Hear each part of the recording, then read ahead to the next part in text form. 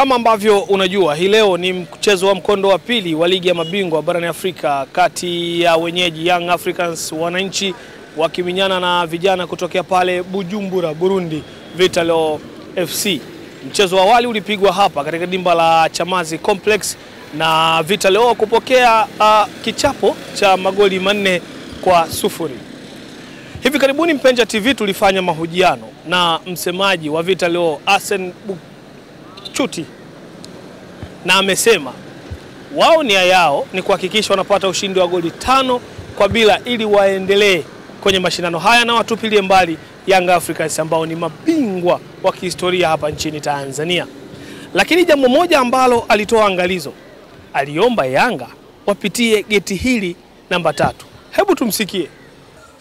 Gisi Yanga inakujaga kwenye makundi na gari sijui bajaji sijui bodaboda, wamoja wanatoka Bagamoyo, wengine Tabata, wengine kama Tanga, na wako na mechi wanafika saa mbili, wengine saa nne. Hapana, kama ni professional team waje kwenye gari moja, kama tunavyoona PSG, Bayern Munich, waje kwenye gari moja. Na wapitie kwa mlango halali, wasipite kwa magendo kama nilivyoona kule Zanzibar.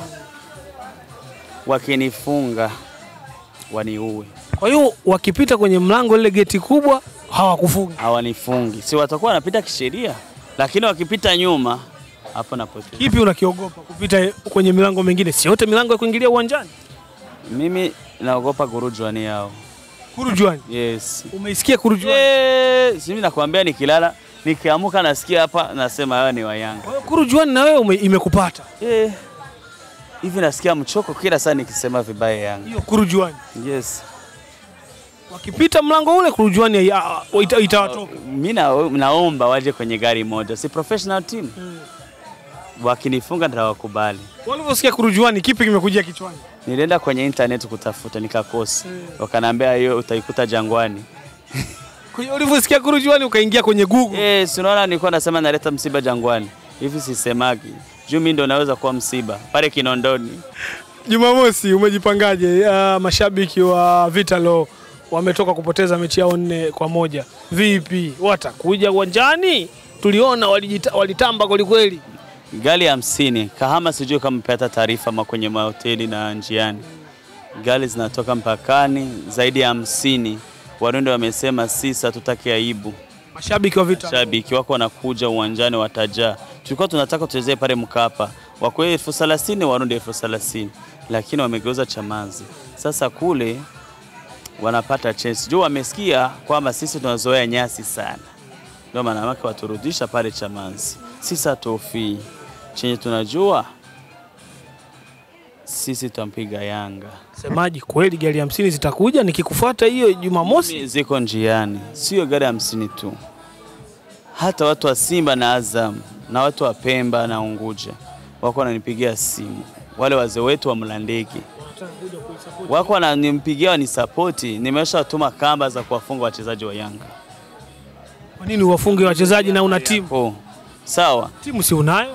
Mimi nakwambia ile timu yangu itafanya mambo mazuri. Niko na wachezaji wa, wa umri mdogo wakina Amigo, wakina Kesi Jordan, aristot wakina Otrish, wakina Dirap, wakina Yakubu. Kule kuna Dube, kule kuna Dube, Ah, yeye kuna Duke ya Buya. yenye amefunga wamefunga wameifunga kwa mechi ya, ya awali, mechi ya marudio. Nakwambia mwana Yanga, mnakumbuka miaka enzi zenu 1982 88 Al Ahly nawapiga wapiga sta- sita. Sita 1998 Manning Rangers ya South Africa na watandika tano. Sasa zama zinarudi. na ile timu ya Morocco Raja Casablanca inawapiga. Ndio vile sasa. Oh, Vitalo wanarudisha msiba wa zamani ambao Yanga Ili watuwezi hatuwezi itika watufunge, lakini kwenye football inawezekana. Kuna sasa tuzifikishe nne, tunapiga mbili tatu, lakini mechi tu watapoteza. Wanaweza endelea, mna shida. Nilivyokuja hapa mwanzo tu nikakwambia semaji la vita leo, ukaniambia niite rais wa wasemaji Afrika. Yeah. Kwa nini umeniambia nikuite rais wa wasemaji Afrika? Uh, naibu yangu iko hapa Tanzania, Naibu wako nani? uh, Ali Kamwe. Yule ni mwenyekiti wa wasemaji barani Afrika. Mimi ni rais. Kwa hiyo chairman yuko chini ya rais. Yes. Unaona chairman yuko juu, si umeshaona statistics? Umeonaje statistics? Mwambie Alikamwe sasa kwamba rais wako nipo, inabidi uwe mpole, nikupe maelekezo. Rais wako Alikamwe, naongea. Rais wa wasemaji Arsene Buchuti, nakubali kazi yako huko nafanya, ndio maana nitaongea na Hersi akupandishe cheo uje kwa CAF kwenye niko mimi. Hapa Egypt, upewe office pale, unafanya kazi nzuri na watu waone kwamba na wewe unachangia kwenye mpira sana. Watu kama Ali Kamwe, watu kama Ahmed wa Simba ni watu wenye federation naweza sogelea, wanafanya promotion sana ya soka. Mimi nimekutana nao Zanzibar, nimepata fursa ya kuongea na Ahmed wa Simba, lakini Ali Kamwe tukuongea, tumejuana hapa sasa. Nawasema hao wakina Ibwe, wakina wasemaji wote, hata ule wapamba Jiji wanafanya kazi nzuri ya kujulikanisha hapa. Kuna watu wameshajitolea ya juu soka ya Tanzania ifike mbali. Nimesema President Karia yeye ajue kama namfuatilia, lakini mwanzo alibana hii federation 2017 kwenye Sekafa tumekutania Muinga, Tanzania imesha mara mara pili Afcon na CHAN. Hiyo ni vitu vikubwa sana kwa mtu mwenye anaongoza federation.